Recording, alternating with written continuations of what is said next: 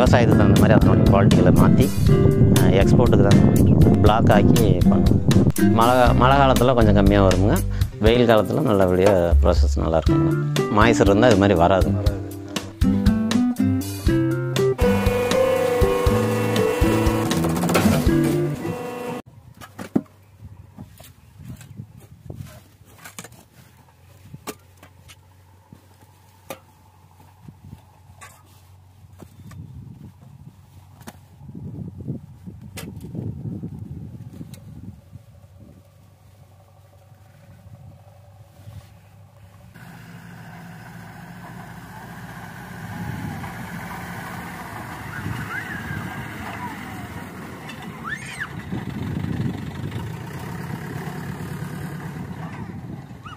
பேர் எந்த ஊர்.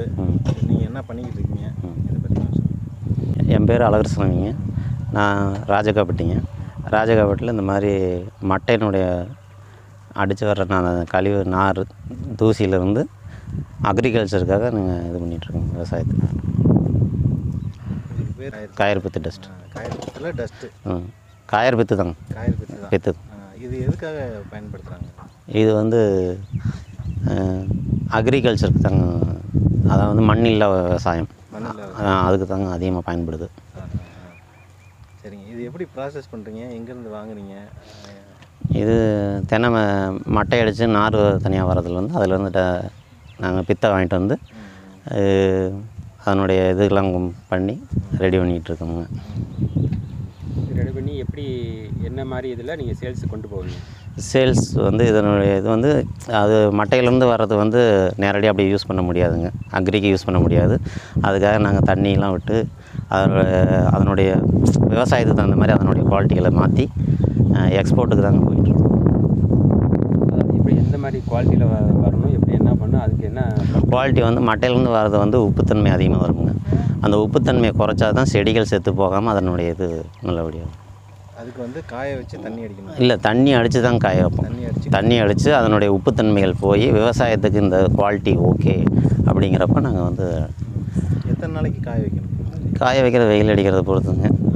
மழை பெஞ்சிருச்சுன்னா ரெண்டு மூணு நாளைக்கு வேலை இருக்காங்க ஆனால் வெயில் நல்லா வெயில் அடிக்குதுன்னா ரெண்டு நாளில் காய வச்சு அது ப்ராசஸ்க்கு வந்துருங்க. ரெண்டு நாளைக்கு காய வச்சா போதும். போதும். தூளாகவே விற்றுருவீங்களா இல்லை? இல்லைங்க அதை பிளாக் ஆக்கி பண்ணுவோம். பிளாக் பண்ணுறீங்க பிளாக் பண்ணுறோங்க மிஷின் மிஷின் வந்து ராஜகப்பட்டியில் இருக்குங்க இது வந்து இங்கே காய வச்சு வண்டியில் எடுத்துகிட்டு போய் அங்கே போய் மிஷினில் போட்டு பிளாக் மாதிரி ஆக்கிடுவோம் பிளாக் ஆக்கி அது எக்ஸ்போர்ட்டுக்கு போகுது ஒரு பிளாக் வந்து எத்தனை kilo five கேஜிங்க five K G five K G இது பேக் பண்ணுவீங்களா பேக்கிங் இல்லைங்க. லூஸ் இதில் தான் கொடுத்துருவோம் கண்டெய்னர் பாக்ஸ் வரும். இல்லைன்னா லூஸ் கே லூஸில் தான் லாரியில் ஏற்றிட்டு போய் அங்கே பாக்ஸ் பேக்கிங் பண்ணிக்குவாங்க. தூத்துக்குடி ஹார்பரில் போய் பண்ணிக்குவாங்க. அவங்க வந்து வாங்கி உங்கள்கிட்ட எக்ஸ்போர்ட் எக்ஸ்போர்ட் பண்ணுறாங்க எக்ஸ்போர்ட் என்னென்ன கண்ட்ரிக்கெலாம் போகுது இது வந்து இங்கிலாந்துங்க China Korean Ukraine Italy Italy மெயினாக போகுங்க. ஜெர்மனி எல்லா பக்கமும் இருக்குதுங்க. அவங்க ஒரு ஒரு ஆர்டருக்கு தகுந்த மாதிரி போயிட்டு எவ்வளோ இது வாங்குறீங்க? என்னென்ன வேலைக்கு எவ்வளோ செலவாகுது? விற்கும் போது எவ்வளோ லாபம்? அந்த மாதிரி இது வந்து நாங்கள் பதினோருவான்னு வாங்குறோமுங்க. பதினோருவான்னு வாங்குவோம். இது தண்ணி அடிக்கிறதுக்கு ஒன்றாயிரம் வருங்க இது காய வச்சு எடுக்கிறது. இதுக்கு வந்து ஒரு ரெண்டு ரூபா வருங்க மூணாயிரம் வருங்க. நாங்கள் மிஷினில் போட்டு அது கரண்ட் பில்லு அதனுடைய லேபர் சார்ஜ் அதனோட அதில் ஒரு ரெண்டு ரூபா வருங்க. மொத்தம் இதுலேயே வந்து அஞ்சு ரூபா வந்து வந்துருங்க நாங்கள் பதினோருவான்னு கிலோ கணக்கில் பதினோருவான்னு வாங்குவோங்க பதினா பதினாறு ஐம்பது அசல் வந்துடுங்க பதினேழு ரூபா பதினெட்டு ரூபா இந்த ரேஞ்சுக்கு வந்து நம்ம கொடுக்குறோம் டீலருக்கு. டீலர் வாங்கி அவங்க பையருக்கு பண்ணுவாங்க பதினெட்டு ரூபா இப்போ அந்த மிஷினரி காஸ்ட் எப்படிங்க அது மிஷின் வந்து ஜிஎஸ்டியோட பதினாலு லட்ச ரூபா வரும். பதினாலு லட்ச ரூபா. இப்போ இது நர்சரிக்கெலாம் வந்து இந்த காயர் பித்து பித்து போட்டு ஆமாம் மண்புழு உரம் மாதிரி ட்ரெயிலில் போட்டு பண்ணுறாங்களா ஆமாங்க. அந்த மாதிரி இதுக்கு இங்கே சேல்ஸ் ஆகுதா? அந்த மாதிரியும் ஆகுதுங்க. Local sales. அது வந்து அந்தளவுக்கு அதிகமாக பண்ண முடியாதுங்க. ஒரு ஒரு ஒரு மாதத்துக்கே பார்த்தோம்னா ஒரு டன்னு தாங்க. ஒரு டன்னுங்கிறது ஒரு ஆயிரரூவா லாபம் கிடைக்கும். அந்த தொழில் வந்து நம்மளுக்கு செட் ஆகாதுங்க அதுவும் கொடுக்குறோம். லோக்கலில் கேட்குறவங்க நர்சரி கேட்குறவங்களுக்கும் கொடுக்குறோம். மெயினாக எக்ஸ்போர்ட் தாங்க போயிட்டுருக்கோம் பர்ச்சேஸ்லாம் எப்படி பல்க் பல்க் பர்ச்சேஸ் பண்ணுவீங்களா? டன் கேஜ் தாங்க. மந்த் மந்த்லி ஒரு எண்பது டன் வரைக்கும் பண்ணுவோம். டன் பண்ணுவோம். எண்பது டன் பண்ணீங்கன்னா பிளாக் செஞ்சீங்கன்னா எவ்வளோ பிளாக் உங்களுக்கு கிடைக்கும்? பிளாக்குங்களா ஃபைவ் கேஜி தாங்க. ஃபைவ் கேஜி இது பிளாக் வந்து ஒரு கேஜ் ஒரு ஒரு பிளாக் வந்து ஃபைவ் கேஜிங்க நம்ம அது டன்னுன்னா அதை பார்த்துக்க வேண்டியதாங்க எண்பது டன்னுங்கையில் இத்தனை பிளாக் வரும். வேஸ்டேஜ் வராது. வேஸ்டேஜ் வருங்க. இது வந்து அங்கே ஜலிச்சு அது பண்ணுறதுல வேஸ்டேஜ் வருங்க. ஃபைபர் இதில் வந்து சுத்தமாக ஃபைபர் இருக்காதுங்க. ஒன்லி பித்து மட்டும்தாங்க இருக்கும் இல்லை ட்ரை ஆனால் தாங்க ட்ரை ஆனால் தான் பிளாக்காக வருங்க. ஈரத்தன்மை இருந்தாக்க பிளாக் ஆகாதுங்க. இதே மாதிரியே தான் இருக்கும். மிஷினுக்குள்ளே போட்டாலும் இதே மாதிரியே தான் வரும் வெளியில். எண்பது டன் வாங்குறீங்க. பிளாக் செய்கிறப்ப உங்களுக்கு அது வெயிட் குறையும்ல. ஆமாங்க எண்பது டன்னுக்கு வந்து குறைஞ்ச பத்து டன்னு நமக்கு வேஸ்டேஜ் போகும் வேஸ்டேஜ் ஆ வேஸ்டேஜும் அது காலப்போக்கில் வந்து நம்மளுடைய விவசாயிங்க தென்னை மரத்துக்கு நீர் கட்டுறது இந்த மாதிரி இதுகளுக்கு அதை யூஸ் பண்ணிக்குவோம். இது எவ்வளோ நாளாக இது இந்த பிஸ்னஸ் பண்ணிட்டு இந்த பிஸ்னஸ் நான் எட்டு வருஷமாக பண்ணிட்டு இருக்கேன். எட்டு வருஷமா பண்ணிட்டு இது எப்படி இது பண்ணலான்ட்டு உங்களுக்கு நாங்கள் இது ஒரு பக்கம் வேலை பார்த்துட்டு இருந்தோம்ங்க சரி அந்த இதுலேயே அப்படியே நம்மளும் தனியாக அப்படியே சொந்தமாக பண்ணலாம் அப்படின்ட்டு கொஞ்சம் சிறு சிறு தொழிலாக ஆரம்பித்து அப்படியே கொஞ்சம் கொஞ்சமாக பண்ணிகிட்டு இருக்கோம் நீங்கள் என்ன படிச்சிருக்கீங்க நான் டென்த்து தாங்க படிச்சிருக்கோம் இப்போ காயப்பத்து பல்காக யாருக்காவது காண்டாக்ட் பண்ணலாமுங்க என்னுடைய நம்பர் வந்து nine five eight five five nine two five six two நம்மளை காண்டாக்ட் பண்ணுறதுன்னா ராஜகாப்பட்டிங்க சிலுவத்தூர் ரோடு ராஜகாப்பட்டி நத்தம் ரோடு திண்டுக்கல்லில் வந்து ரெண்டாம் நம்பர் ரோடு சொல்லுவாங்க. சிலுவத்தூர் ராஜகாப்பட்டினாக்க எல்லாத்துக்குமே தெரியும். பிரிக் வந்து அங்கே கிடைக்கும். நர்சரிக்காரங்க வருவாங்க. அங்கே தாங்க நம்ம காண்டாக்ட் பண்ணணும். அங்கே தாங்க பண்ணணும். இங்கே வந்து லேபர்ஸ் மட்டும் தான் இருப்பாங்க. களத்தில் காய வச்சு எடுத்ததை வந்து இங்கே ஜலிச்சு சீவுடு பண்ணி இதை வந்து அள்ளி இதில் போட்டோம்னாக்க மிஷினரி பிளாக் அந்த பக்கம் செ- அந்த இதில் வருங்க அதில் வந்துடும் எந்த பதத்தில் அள்ளி போடணும்? பதம் வந்து பத்து பர்சன்ட் தாங்க மாய்ச்சர் இருக்கணும். மாய்ச்சர் மீட்டில் செக் பண்ணால் பத்து பன் பத்துலேருந்து பன்னெண்டு பர்சன்ட் வரைக்கும் அதிகபட்சம். பதினஞ்சுக்கு மேலே போயிருச்சு அப்படின்னாக்க பிளாக் வராதுங்க. பிளாக்கு சரியான பொசிஷனில் வராது. எல்லாம் இதாகவே வரும். உடஞ்சவோ தூளாகவே வந்துடும் வெளியில். இப்போ இந்த மிஷின் காஸ்ட்டு எப்படி ஃபிட் பண்ணி அது என்ன இருக்குது? மிஷினை இதை பற்றி சொல்லுங்கள் எவ்வளோ ஏரியாவில் எவ்வளோ இது? இந்த செட்டு வந்து வாடகைங்க. இந்த மிஷினரி இதெல்லாம் நான் வாங்கி செட் பண்ணப்போ வந்து இந்த மிஷினுடைய ரேட்டு வந்து பதினோரு லட்சமாக இருந்ததுங்க.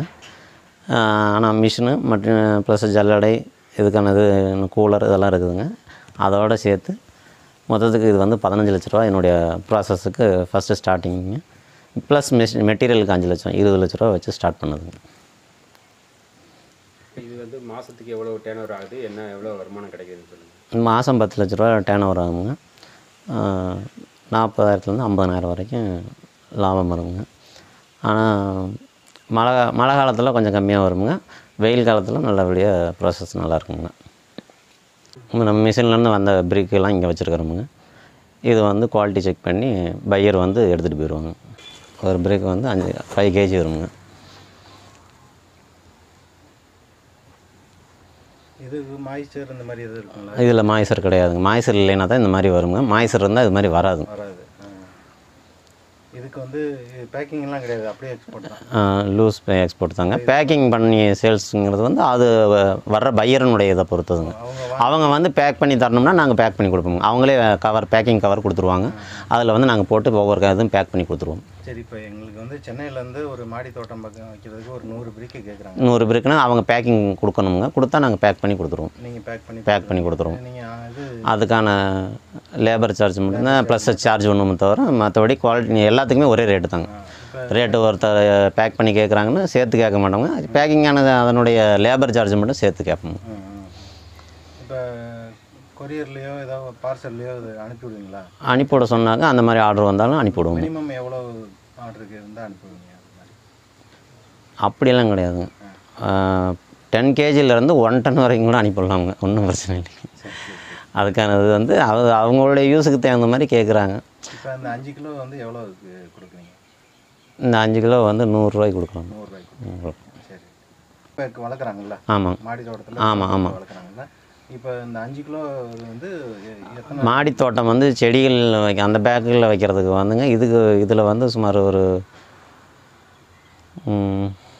இதனுடைய இது வந்து ஒரு ஐம்பது கிராம் போட்டாலே போதுமா ஐம்பது கிராம் ப்ளஸ் மண்புழு உரம் அந்த மாதிரி இதுகளோட சேர்த்து வந்து இது ஐம்பது கிராம் ஒரு இது செடிக்கு வந்து ஐம்பது கிராம் போட்டாலே போதுங்க. நீரின் தன்மை வந்து நீர் ஒரு நாளைக்கு விட்டிங்கனாக்கா ஒரு வாரத்துக்கு அது அப்படின்னு அப்படியே ஒரு வாரத்துக்கு பிடிச்சி வச்சுருக்கோம். நீர் வந்து நீர் சத்து வந்து இல்லாமல் வேர் ட்ரை ஆகி போயிடாமல் வச்சு வச்சிருக்கோம்